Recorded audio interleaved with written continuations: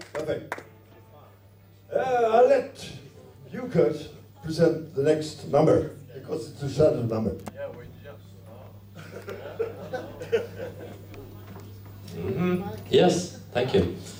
We're jumping between Lenny's tunes and old vintage Shadows tunes. And now, time for a Shadows, Man of Mystery.